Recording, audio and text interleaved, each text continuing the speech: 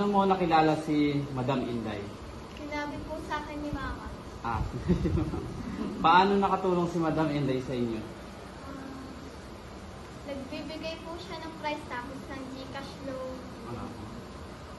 Ilang taon o gaano mo nakatagal si Madam Inday kakilala? Yung lockdown pa po yun eh. So medyo matagal na rin. Ah, magbigay ka ng tatlong katangian ni Madam Inday. Madaldal po. Tapos kasungit po sa inyo. Sabi, ano ba, asan ka na? Naganon-ganon po.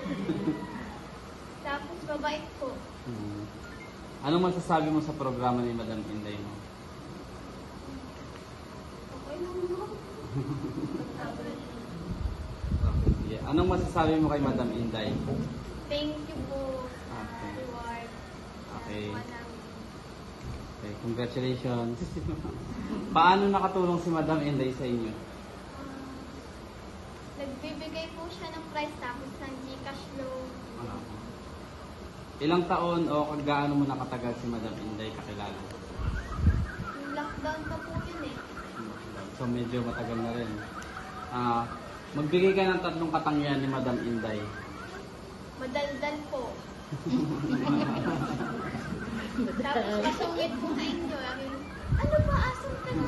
Naganon-ganon po. Tapos babait po. Hmm. Anong masasabi mo sa programa ni Madam Inday mo?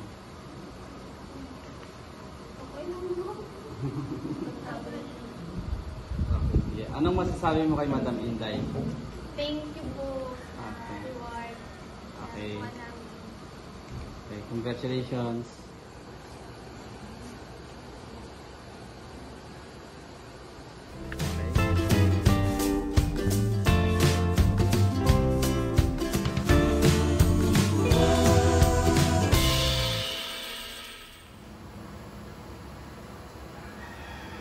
Okay, paano niyo nakilala si Madam Inday?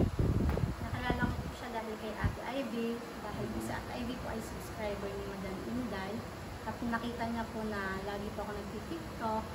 At na-imbitahan niya po ako na sumali sa Inday program ng TikTok Challenge.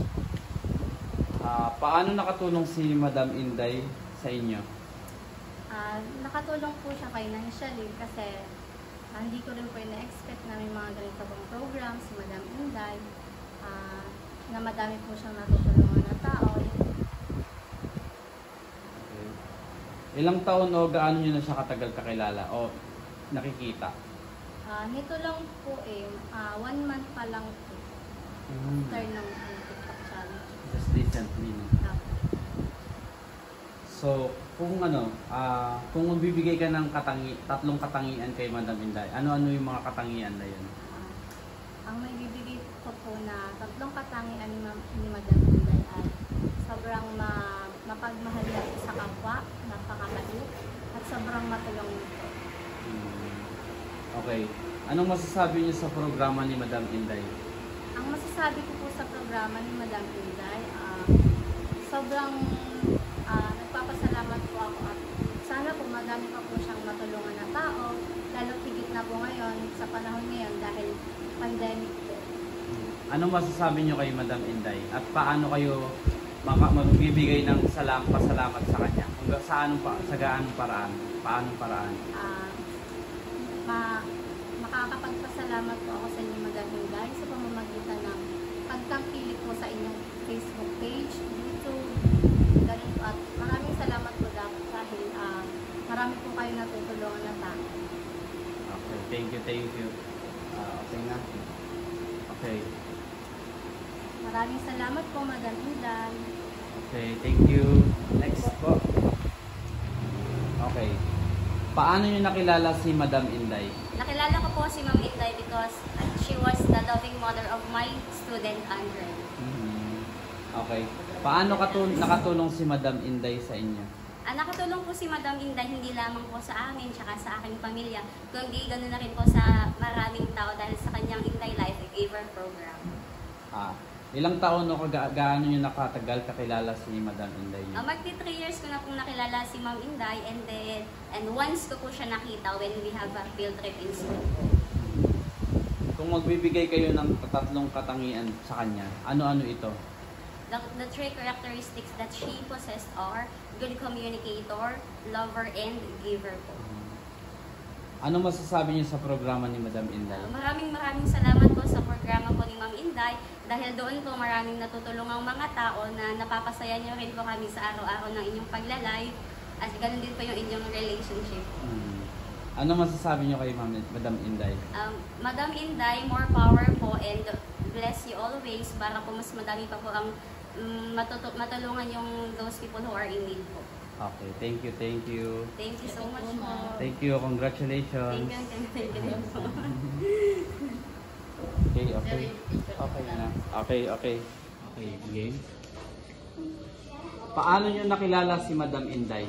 Alala po namin si Ma'am Inday po sa pamagitan po ng kapitbahay namin na sabi daw po sumali daw po kami doon sa patimpalak po na yun. Paano nakatulong si Madam Inday sa inyo? Nakatulong po si Ma'am Inday sa pamamagitan po ng mga yung sa palaro niya po na funny TikTok video. Nagkaroon din po kami doon ng kakayahang maipakita po yung aming kakayahan sa pag-tiktok. Okay, okay. Ilang taon ga o gaano niyo nakakilala si Ma'am Inday? Months pa lang po. Months pa lang. Ah, kung magbibigay kayo ng katangian ni Madam Inday, ano ano ito? Tatlong katangian, ha? Mabait, matulungin, maganda. okay. Anong masasabi niyo sa programa ni Madam Inday niyo? Um, nagpapasalamat po kami doon dahil po nakatulong po sa pamilya po namin. Ang nakatulong. Anong masasabi niyo kay Madam Inday?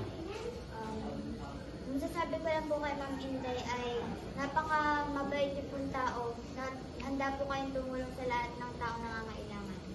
Okay, thank you. Thank you. Congratulations. Wait lang ha. Okay. Okay. Paano niyo nakilala si Madam Inday? Nakilala ko po siya nung nag-scroll po ako sa Facebook, may mga nag-share ng video niya. Hmm, okay.